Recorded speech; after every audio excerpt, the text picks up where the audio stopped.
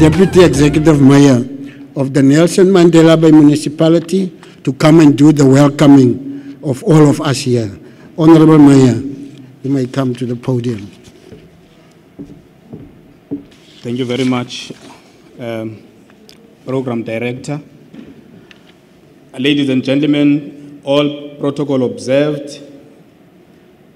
On behalf of the Executive Mayor, Councillor Bobani, and the citizens of Nelson Mandela Bay Municipality, I am both pleased and humbled to welcome you to our city on this beautiful occasion.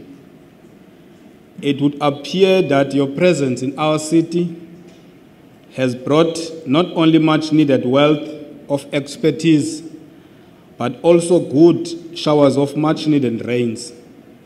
As you might know, we are a city that is in crisis. We are very much in need of what is happening, what was happening outside.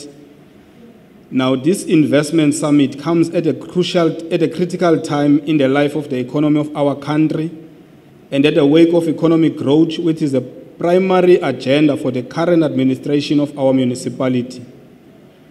Equally, we look forward to sharing and access to the best practices from our colleagues from various parts of the global economy so as to help us improve our municipality's economic conditions. We all know and understand that there are many challenges with navigating the, which, with navigating the local economic development space. And at the center of the challenges of ordinary people participating in the mainstream of economy.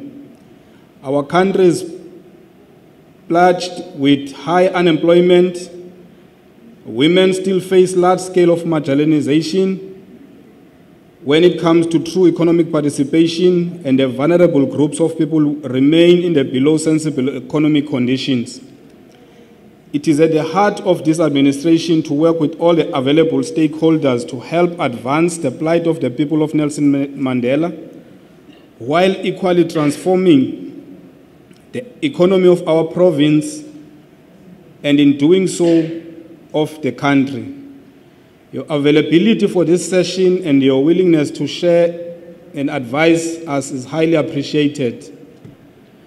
Taking the tone from the President of the Republic of South Africa in his State of the Nation address on the 7th of February 2019, a few things were very clear, and amongst those are the fact that our economy is strained, and if we are to succeed in transforming this economy, a collective effort is needed from all of us.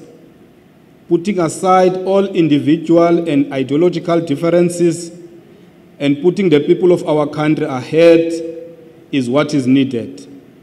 This will, this will require a willingness from all of us as to ensure we grow our economy.